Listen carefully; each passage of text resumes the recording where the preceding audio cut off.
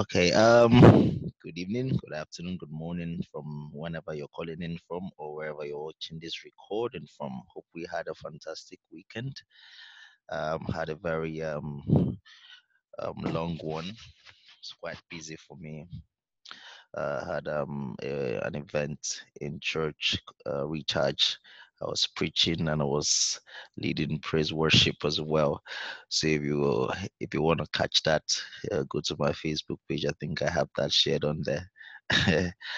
uh, so yep, that's um, that's about my own side, my own life. Now let's go into the forex life. I think this week might be a bit um, interesting as well because of the numerous news releases that we have.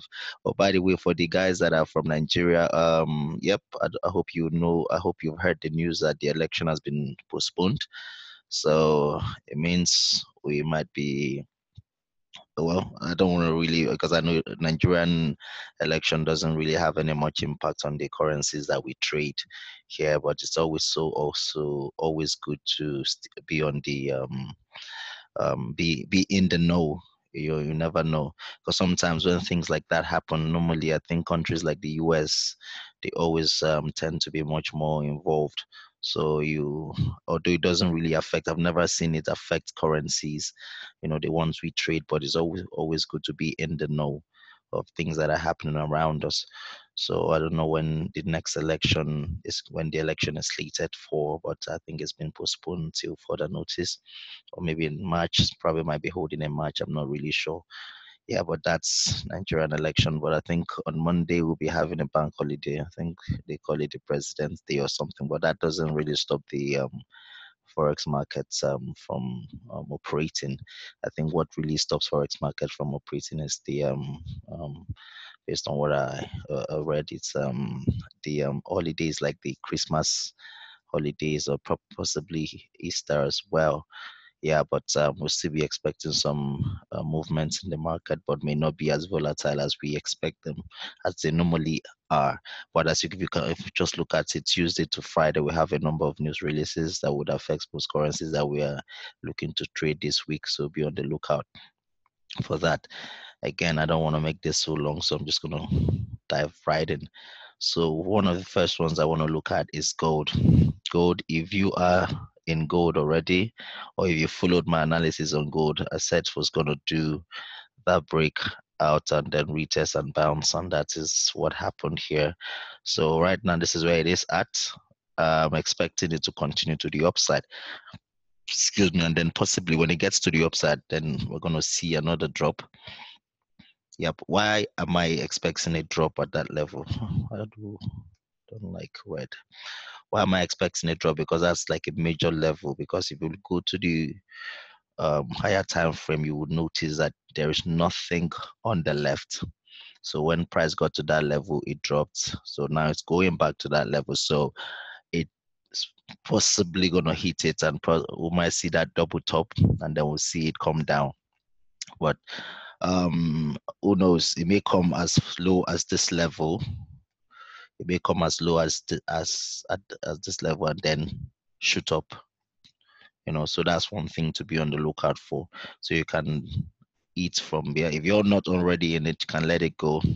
Probably set a sell limit somewhere around at the on top here because as you can notice price got there dropped got there dropped and um, it's approaching there again. So i'm expecting it to go and then drop and then possibly when it gets to this level possibly you know, because it looks quite bullish. If you guys look at can see that it still looks quite bullish, you know.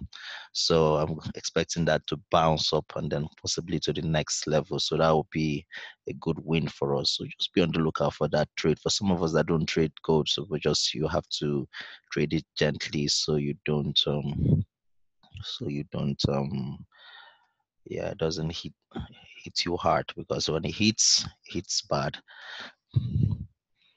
so what I want you to do, just be on the lookout, watch this carefully. If you're not already in it, let it go.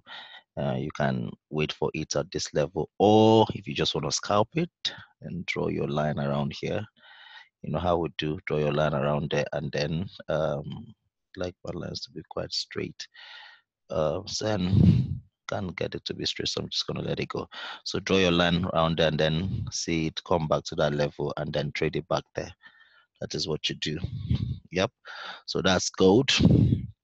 Um, AUDNZD. I'm really, really, really look, waiting for all of these guys to play out because if you look at this, it's at the bottom of that level. So, and came, see what happened? Came down, bounce, came down, bounce, came down again and bounce. So, what I'm expecting right now, well, I didn't enter at this level. I didn't get the trade when it came to that level. It was too fast for us, you know. So now possibly what may happen, he may decide to come down again. He may come down again to that level before bouncing, you know, but generally this guy is going back up. That is where it's going back to my expectation. So if we can get an entry at this from here, don't don't look for an entry at this level yet. Let it come back up. So I'm waiting for this to come back to the top here. This is where I'll start looking for an entry for me. I'm going to start looking for an entry somewhere around here if it breaks that level. Why am I saying that? Because it's not, um, it got there before and rejected. So I want it to go and break it. Then I can TP here first of all. And then if that breaks, then eh, I can start looking for another sell to the upside. But just follow the trade. If you're not already in, if you're not buying this, if you're not already in this sell, then wait for this to break. If you expect, if you expect it to break, then if it breaks, sorry, if it breaks, let it come back to that level and then look for the sell. Yep. Now, if you're not already selling this, like I say again, let it break that level. So you have to drop down to your smaller time frame, let it break that level, then come back. And then you can sell to that level. But me, I'm really looking for the upside. So I'm waiting for price to come here and I can clearly see it break that level that I'll buy to the upside. There's no um there's no uh, what's it called now? There's no loss in waiting you know, no harm in waiting, uh, I should say. So if you can wait, just wait for this guy to come all the way back up. And but if it comes in and then you see a rejected, you can sell it back down, you know, if you want to scalp it. But for me, I'm really waiting to see that breakout to the upside. So because we still have a long way to go. Uh, hold on, please.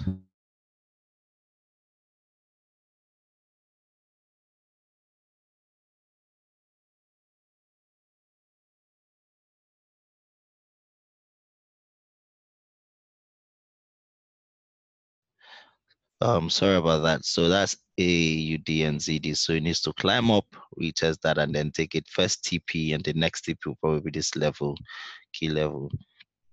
Or you can look at it at this level, but I'm, I'm generally expecting this to come from there. You know, that's where we are going to for that trade. Um, Euro NZD, you know, we're waiting for that to drop to the downside and then take us back up. Why? Because of that first bottom, and then this is creating a double second bottom now. So it's going to take us back to that key level. So I would put a buy limit here and then wait for that to happen.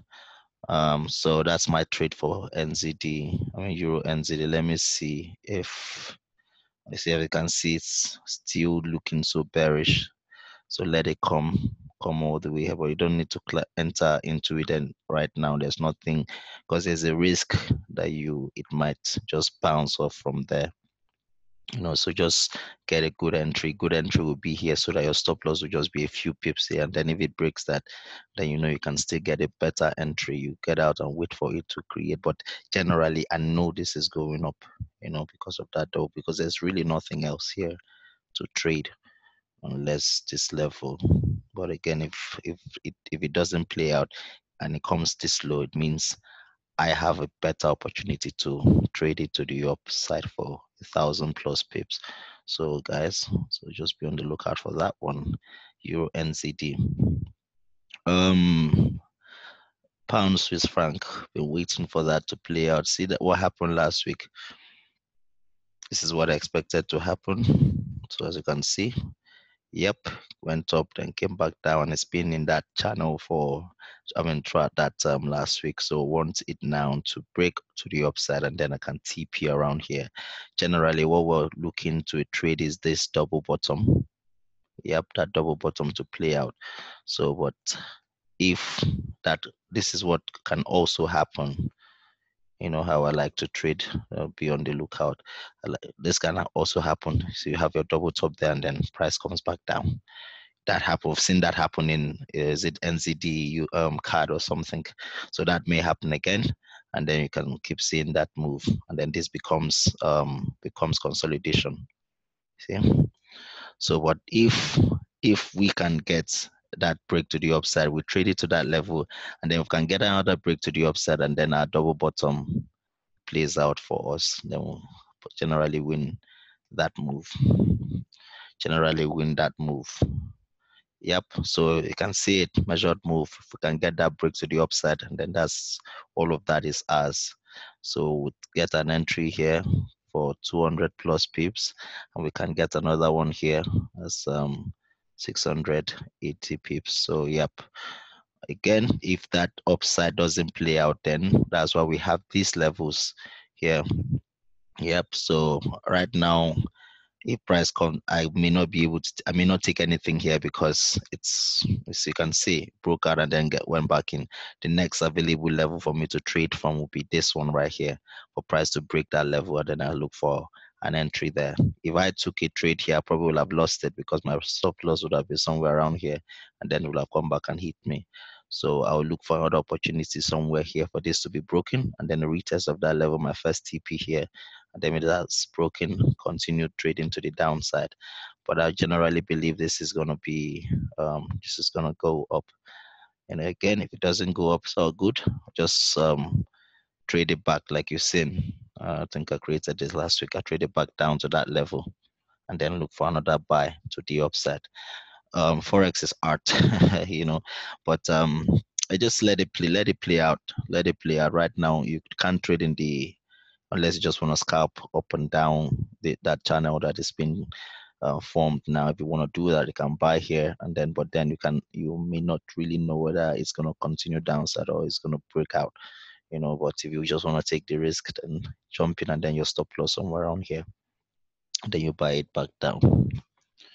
You buy it back down. Okay so that's that one. Um pound swiss franc pound aussie i think this one if you guys can see what i see i think see is forming the head and shoulder. And if you can that's two things now two things are possible. Now head and shoulder so excuse me please a head and shoulder. First of all, before the head and shoulder, see that move came in, bounced off that level, went um, bounced off that level, when and now it came back to that level. So possibility is that this thing, oh, where is it now? Is that this thing bounces off this level and then gets to that level. That is what is possible. But I'm not really looking to trade that. Trade that for me. I'm not really looking to trade that. I'm looking to trade this one so it means if that plays out, all the better. But uh, my own trade will be here. I'm expecting this to happen, that um, head and shoulder to play out, that break, and then take my pip, take my trade to the downside here. So I need to see a break of that level, and then that's my trade right there for that head and shoulder to play complete. You know, but so again, people want to also watch this as well. Possibility of price doing that. And then possibly from there it can drop. It's still within the range because it hasn't broken the ahead yet. So anyway i'm not looking for that upside. I'm waiting for this one. You know there are many other trades to take you know instead of that one. You know.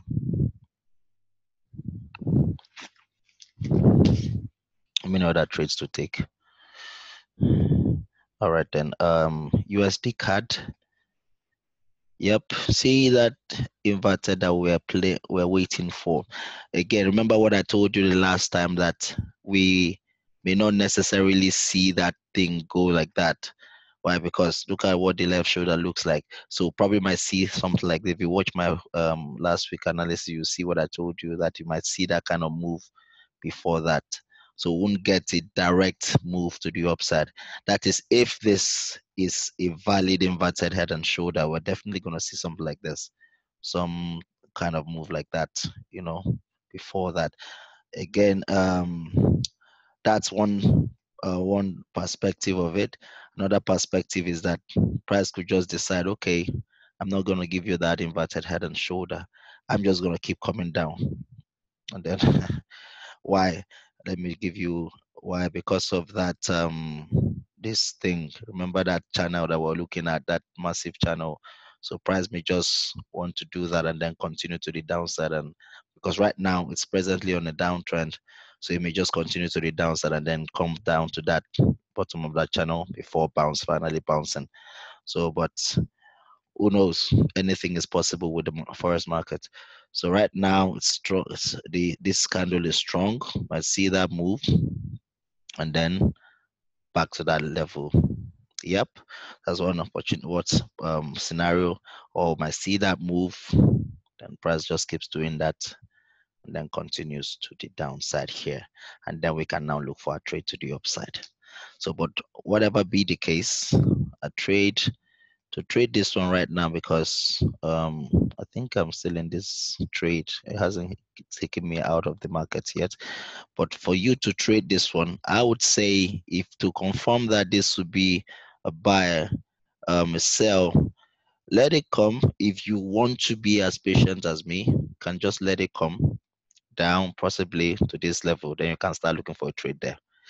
You know, if you want to confirm, just or if you want to take an early entry, then let it do that, possibly retest that, and then you trade it back down here. Yep. So that's your move. Again, can let this all this play out, and then you look for your trade here then your TP here. And then if that breaks, and then your TP will be here, this level. Yep. So that's one scenario. Second scenario, can wait for you to break out, retest that level, and then first TP here, break second TP. So that you can find by dropping down to your smaller time frame. That's this level. So you start seeing what's so right now it's breaking, although it's slowing down intensity is not as great as it was before, but it can quickly, you know, just, you know, if it breaks out completely, your stop loss will be somewhere around here, then you can, you know, but then you might, might need to get some retest of that level for you to confirm that move and then you can trade it to that level. Let me see how many pips that would be if you can get an entry there. Um, that would be about um, um, not too bad 40 pips so yeah quick scalp all right that's usd CAD. but again remember how we do, how we do. I'm to look at the analysis look at the analysis and then we'll trade um, them together you know presenting in the charts as the occur together. So we can all trade them together. Euro pound euro pound. You know i know i don't particularly like to trade euro pound but um just gonna follow this one. I thought this was going to give me the um, retest that level and give that inverted from there, but it kind of came down to, but still in the neckline. I mean, in the left shoulder, so it's not, it's not yet um invalid. The, in fact, this is a very good place to look for an entry if you want to trade this thing. Very, very good place to look for an entry. So your entry will be here. So it means if you enter at this point, that is, if the price opens at that level, but price may open lower or open a bit higher. I don't know when where it's gonna open, but it's a very good place. But it means your stop loss would be here. So in fact, to be let me some people can decide to put their stop loss here. Some can say I want to be more conservative and then drag drag it around here. Why are we trading that? What are we trying to trade? We're trying to trade this inverted head and shoulder. You know, that's what we're trying to trade retest and then bounce to the upside. Yep. So, but again, we can never tell that this is going to be an all um, valid trade. But if that breaks, all of that breaks, that is your trade right there to this level. Somebody's calling me. Let me just um, silent that. Sorry. put that on silent. Hmm, okay. Yep. So that's that one. To be honest, if you ask me, I wouldn't really be looking for the downside of that trade. You know, my bias would be more on the upside. Let me see. Yeah, cuts. It's, I don't really like the way this looks. Looks also choppy everywhere. You know, so if you want to take a trade, you can wait for that level to break and retest, and then you can what look for to TP here. Why? Because that level, you see what that level is. It's a strong level. Price has been rejecting it, so you don't want to get caught in that um, small move. You can reject and then keep going to the upside. Besides, look at that massive rejection here. Is that a rejection of my candle? Okay, that's my um my um stuff. So yeah, So the much is that rejection? Okay, that's a rejection. This one right here is a rejection. This one here is a rejection. Look at that. This one is my uh, marking. Although yes, there is a rejection on the upside. So that's why you also want to, you know, either ignore it altogether, you know, or again, you want to take the risk, we can trade it together, but um, carefully Look at that move. Invite looks like a clean inverted head and shoulder. So we'll take an entry here. It opens at that level, stop loss here, and then we see if we can get that um, measured move to the upside. That's the level. Let me see if it aligns anywhere. Yeah, pretty close. So TP around there. All right, let me keep that there. Okay. Um, CAD yen, CAD yen, CAD yen. Same thing like uh, what we saw earlier. Key level. This is a key level.